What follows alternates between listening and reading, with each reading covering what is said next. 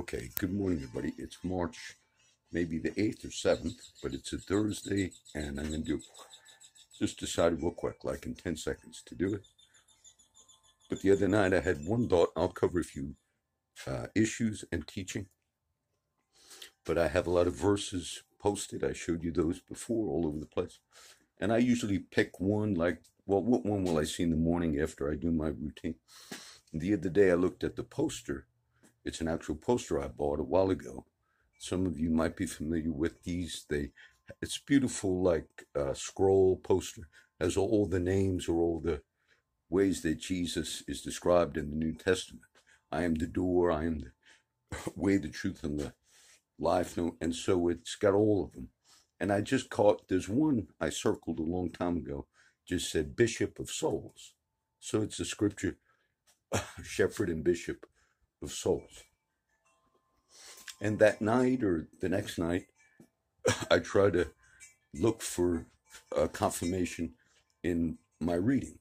And I have about seven or ten uh, spots in the Bible where they're marked, but it's not coordinated except it's the next chapter.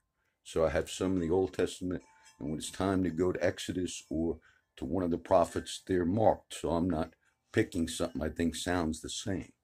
So my reading that night, like a night ago, was John 10, which is uh, the shepherd of the sheep. Jesus is a shepherd. My sheep hear my voice, and they follow me. They will not follow the voice of a stranger. And so that was John 10. And the next bookmark in the book of Psalms was, of course, Psalms 23. I didn't know, but I turned to it. And the Lord is my shepherd. I shall not want. I shall not lack. He leads me beside the still waters. So that was just interesting. And it was ways that are not real big, but like you're saying, those are confirmations that God gives to us. Now, recently, and I would not make a video just to talk about like some, I'm not sure who has, I have so many sides. And so someone or some group somewhere has decided more than likely to, and it has to be someone or a group that's able to contact. There's like over 100 sites, cloud sites, video sites, and all of it. And so someone's kind of trying to get us off the internet completely. Now, what I do is I navigate, and I'm going to teach a little bit more, but I navigate in ways that because I do it, and I'm not bragging that I'm doing it myself. Uh, there's videos I like on YouTube on business and outreach, and one is called One Person Business Model. There, there are a few good YouTube uh, videos on that. And I liked it. And the original person, I won't mention his name, he seems like a nice younger guy. But at first, I liked it because I believe that it is possible in our day to do the one person business model meaning we live in a day where you can use these things. And one person, by the grace of God, can reach out. I will exalt your horn like the horn of unicorn. John the Baptist, the voice of one crying in the wilderness, prepare you the way the Lord, make straight in the desert a highway for our God. But eventually he added like a team. And on one of his videos, he said, Well, I'm going to change the definition now of one person business model. I'm still going to call it that. But he hired some people, which is fine. But I don't know, brother. If you know, I like the idea of the one person business model that everyone can be real effective. But someone's attacked a lot of our online sites. And so I just at times say, Lord, I don't know who. There's too many, and there's one person business model. I cannot fight everybody. So uh, there's techniques, and, uh, meaning in the sense that I'll I have backup systems and things like that.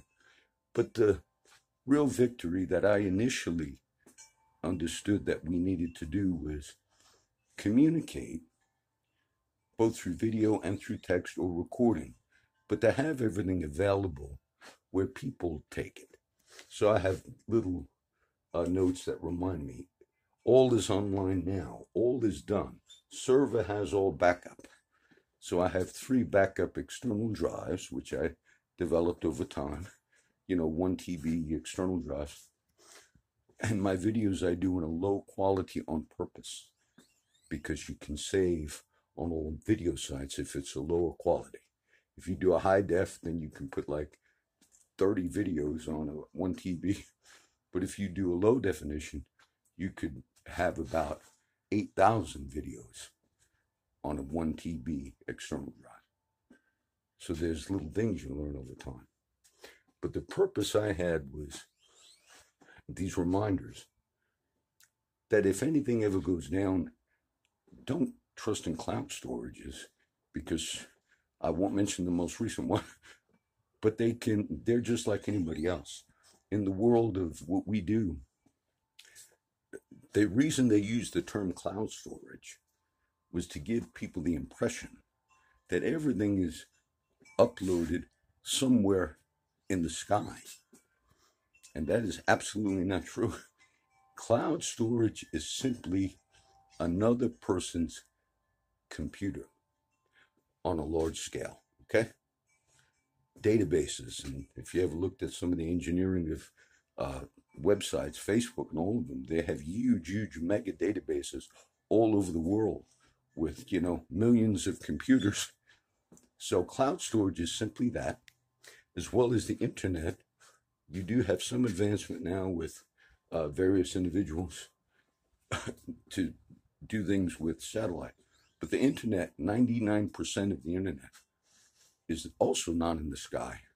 It's in fiber optic cables that cover the earth, that cover the globe. If you ever looked at videos of it, it's quite interesting. So it's really grounded, but I like the concept of the cloud. But the cloud is is they do that for people to think. So anything that you have on cloud storage, don't trust that. Okay, most people should learn by now. Because a cloud storage site, like any other site, and if they have a particular bias or people complain, they can say, we cut you off.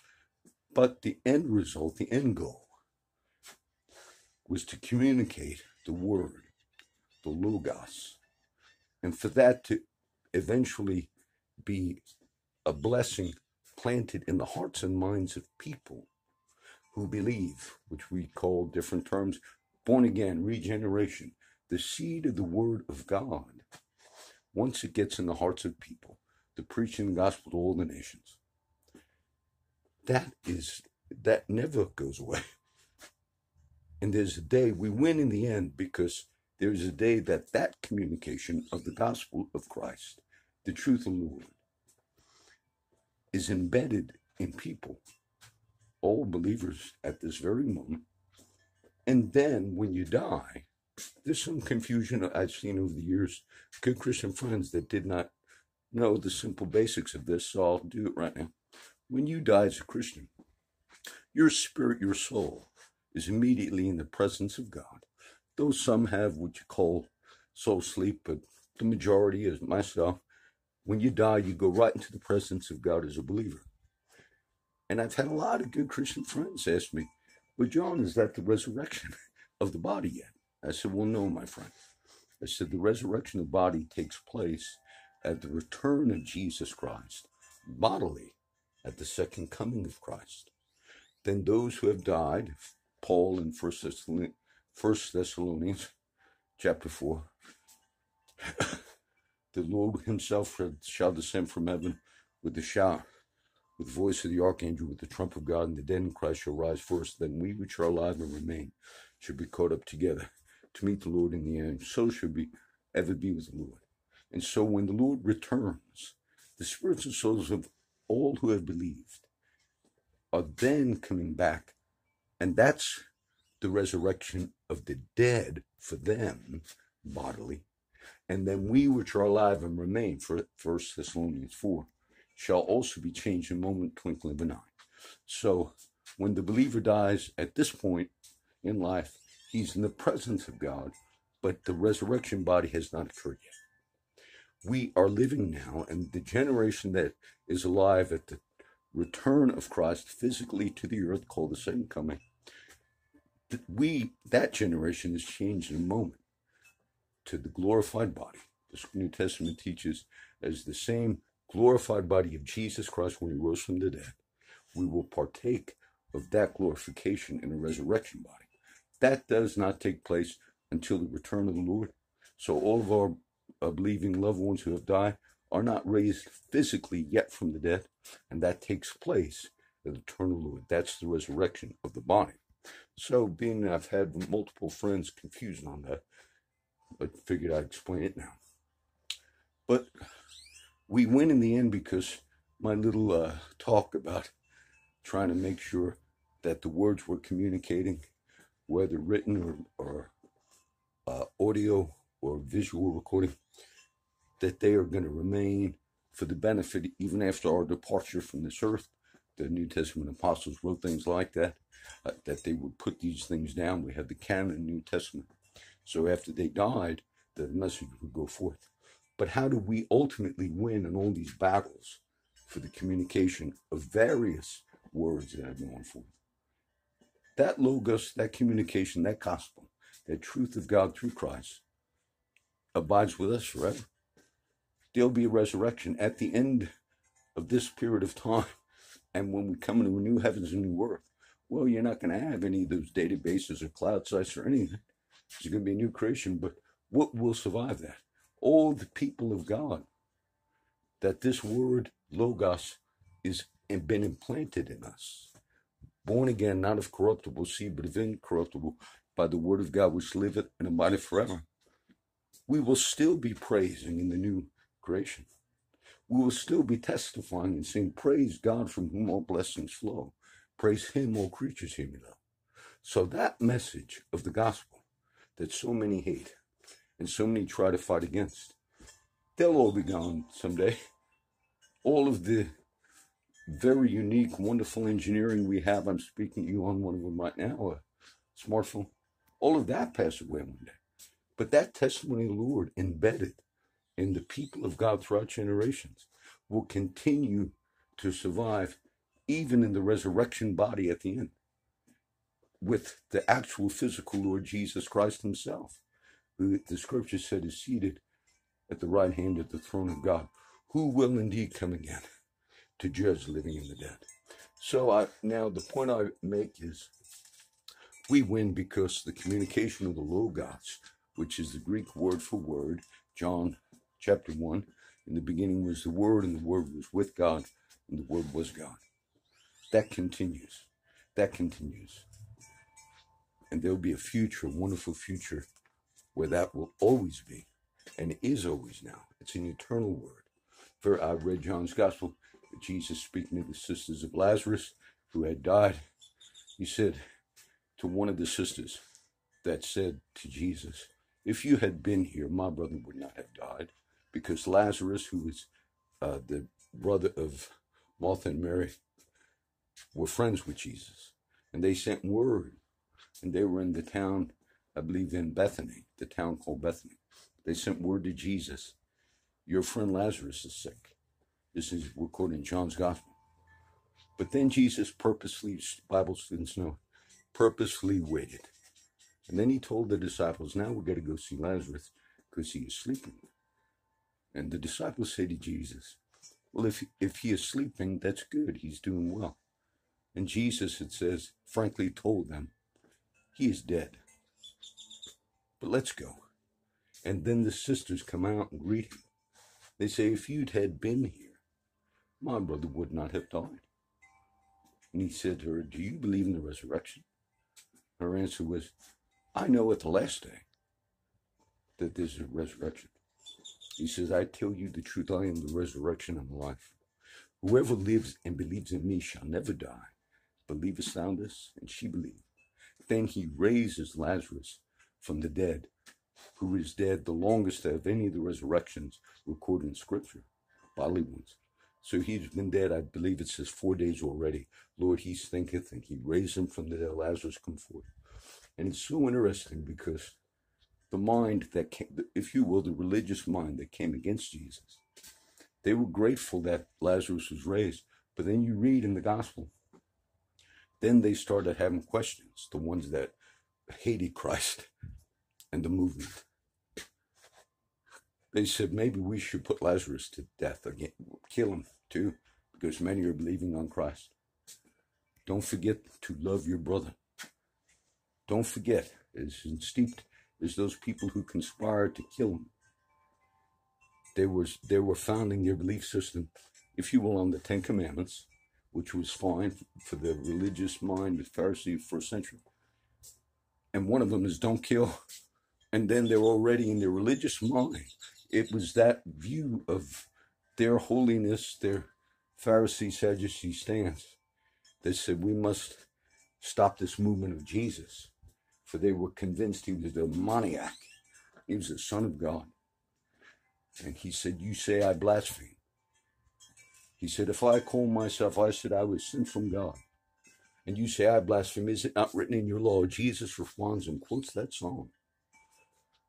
It says, Unto whom the word of the Lord came, the scripture says, it came. Did he not call them gods, little g, unto whom the word of the Lord came? Jesus quoting the song. And if you say, I, who have been sanctified, separated, and I'm come here to fulfill the will of my Father, and the scripture cannot be broken, he told them. But they just didn't know it. So, this logos, this word, this testimony, it will prevail forever. Don't trust in the cloud. Never. And learn some things that it's not a cloud. It's cables underground connected to giant computers. And the people that run those things, whether it be a social media, cloud, or any of it, they're just as political as anybody else. And if they decide, let's shut them off. So that maybe I give you a few little points in that. Now, I do not want to cover, I think I taught on this, and I'd hate to give it a terrible title because in the future I'm going to repost even the ones that have titles that don't sound like, oh, that would sound like a bad video. I read the news every day. Today I did a lot of work. How do I respond when um, some of my sites, like a, a group attack, wh- wherever it came from, I launch a bunch of new ones. It's a principle. So a bunch of India sites, China, very hard to get into China. It opened. Uh, Japan, the rooms, I pray, the rooms of the Orient. Let your spirit go to the land of the rising sun. So strange because in the, as they opened up in the last three days, Japan and China. China is very hard. I tried that before, and I got in, and there's not cheating, but the technical barriers. And I thought, how come I got in now? And I accidentally joined a very famous Chinese company, which is the head of TikTok and Douyin, which is a Chinese version of TikTok, which preceded TikTok, Douyin. But I was going to try to get into Douyin, but the company is called ByteDance, B Y T E D A N C E. So I joined ByteDance as a member, but that's just a member of the company. But my Gmail showed up on the profile, and I thought they maybe realize I'm connected with TikTok and the others. So if you're on a few that are Chinese and you're already uh, approved to be that way on the other ones, I think that gives you more favor. So I accidentally I was looking for Douyin, which is the Chinese TikTok, which has 650 million uh, users. But I accidentally joined the parent company. And then when I went down the line, I got into a few other very difficult Oriental sites. And I looked even this morning. I have a, a north, south, east, and west, one of those plaques. It's been here for years. I just noticed it's in the an Oriental writing. I just never caught that before. So what the principle is this there'll be people that will fight, and so I've had that the last few weeks, and they'll fight and they'll fight, and I, I can spend so much time, you know, if they want to do things, just keep moving, just keep moving. This this testimony ultimately is dependent upon people believing in Jesus Christ, being born again of the incorruptible seed, which is the Word of God, and that's the thing that's going to last. That's that's this faith that we have that in the end, everything is going to be administrated by a just and merciful and holy God. I, I have to my left here the Ark of the, a model of the Ark of the Testament. I showed various times to you over the years. Oh, I don't know if I have to keep showing it every time. So it's the model of the ark. And in, and in that box, the Ark of the Testament, it's not Noah's Ark. It's the Ark or the box that God instructed Moses to build, to put into it the two tablets of the Ten Commandments. And so it went into that box, and that's the Old Testament Moses tabernacle system, which eventually the, the temple that Solomon builds is patterned after that system. But it says, and I showed it on the last video, but on the on the lid of that ark, Moses was instructed to put these two uh, statues of cherubim or angels on the lid. And that lid is called the mercy seat. And that name is the same out of the Old Testament, which is written in Hebrew, but it's the same concept in First John is the propitiation, the acceptable sacrifice. So it says in First John, He is the if we confess our sins, He is faithful and just to forgive us our sins, to cleanse us from all unrighteousness. For He is the propitiation for our sins. That same term is used for that lid there on the ark. And so what you had in the ark was the law of God in the ark, which was so holy and righteous and just, the character of God. And God could not tabernacle among the old covenant community with the sinfulness of the way man was and is. So there was a system of sacrifice developed, priesthood. I'm reading Exodus again. And so that lid, you have the famous stories of Raiders of the Lost Ark and so forth, Indiana Jones, based on this idea that there was this electrical power, you know. But when the lid, because we read in the Old Testament story, maybe Samuel, but when certain times when you uh, disgraced the ark and you didn't follow the prescribed thing, people would die. Some famous stories of that people preached on over the years. But why is that lifting up of the lid and like people got wiped out? And that's the basis of those movies. It wasn't that it was electrical power. It represented this righteous holiness of God with these tablets that were in it. And sinful man could not be in the presence of God. And so it was showing that there was not a sufficient sacrifice for sin yet. And don't take off that lid because the righteous, pure holiness of God man cannot live in it until he is redeemed by the future coming of the Passover lamb, also typified in the story of Moses in the Old Testament. And so the lid simply represented the mercy to, to keep that judgment from coming. But I like the idea of the mercy seat. I like the idea that the two angels, it says cherubim overshadowing the mercy seat. I have those things written down. So, because we also have to always remember, there was not, I won't give it the bad title, but it could have been a title like all the all the things that are being revealed, the sinful things taking place with ministries and so forth. I just thought, and it's good Christians. One that was, one was just like exposed in an online article. I won't do the whole thing, but it mentioned, and this worship leader was at a church in Corpus Christi in the article, which is right down the block, which I've been to that church. I remember when this worship leader was there, famous worship leader exposed on an article today coming out on one of the Christian sites. So I thought, what if, and I won't title it that, but what if I made a video of a particular whoever it was and said, we have a picture or video of you whoever it is. But you don't know that somebody from your past, if you're 50 or 60 or 30, you might say, oh, maybe I had a boyfriend when I was 17, but that was before I was a Christian or whatever. But say if I, whoever it could apply to, and say if I said, in that video of you, whoever it is, investigative reporter or everybody, I said, and I'm going to post it because it's sin that you committed.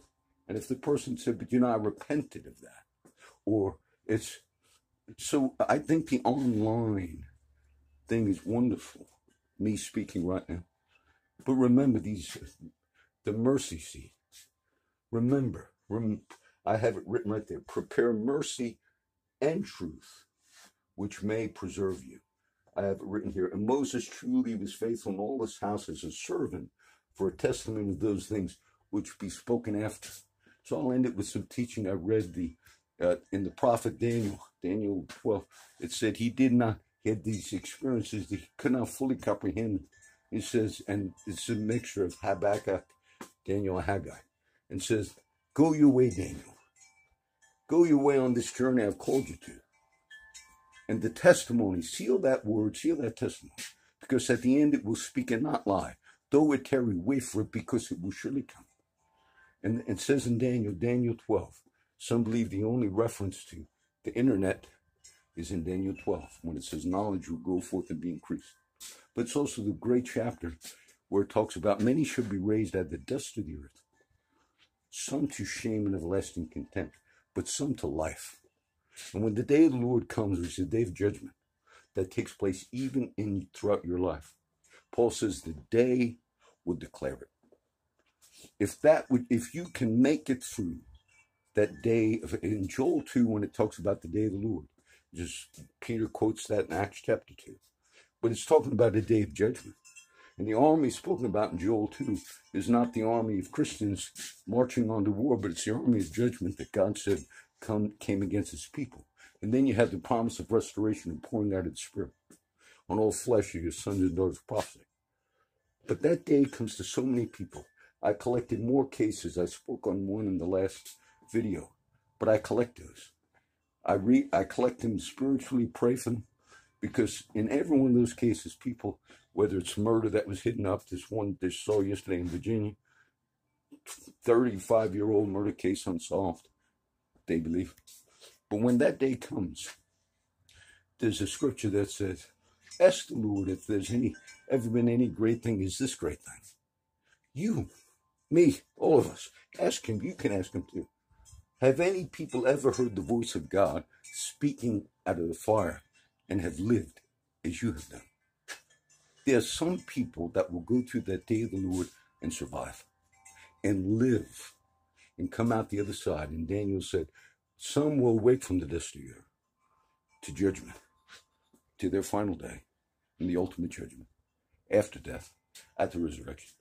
But some will wake out of that dust of the earth and be able to say, Have anybody ever heard the voice of God speaking out of the fire, as you have done and have lived? And then you ask the Lord, Has there ever been any great thing whatever it is God is doing to you, is this thing that God has done. That can be personalized to everybody. If you walk that path that God has ordained for you. So I would just say this. As we, uh, and I won't do too much on what I mentioned, the critique of the Christian brother that today, some Christian brothers and sisters. But remember this those who are critiquing other Christians, whether it's through an online magazine, the way I do these things. if the title was, I won't put it that, but if the title was the name of whoever the critiquer is and said, I have evidence of your sins. But you know, you could do that without a video. You could say, all have sinned, come short of the glory of God. All of you. All of us. And that's not, I say that not to justify sin in the church. But I say that there's a balance between exposing this in uh, Galatians, the Apostle Paul says, If any brother or sister is overtaken in fault, ye which are spiritual, restore such a one in the spirit of meekness, considering yourself lest you also be tempted. And so the point I would make is it's good if we have to deal with sin in the church, but some of the articles I read even today, it's almost like you got just you have to balance and remember that there was this mercy seat. There was this strict commandments that could have been, if any human being was placed against those without the propitiation of the mercy seat, no one would stand. And so as we are doing this work of the kingdom of God and communicating, just just be gracious to remember mercy. Let mercy and truth both preserve me.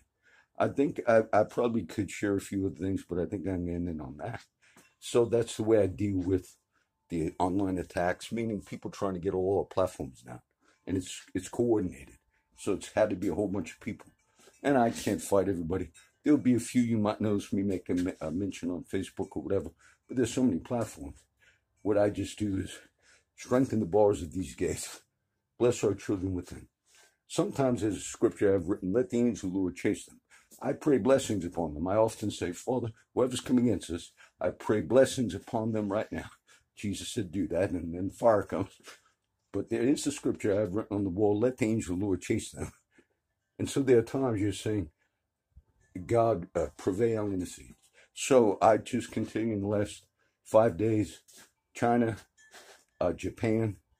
I could have got some more India, but I got a lot of Indies. So there's about six or seven new ones that really are uh, more beneficial anyway than any of the others that people attacked us on. So what we pray now is a blessing, Father. I thank for my friends. I pray that you give them insight. Maybe they got to re-listen to this, or all of them. Help people download and keep the ones that they think are important.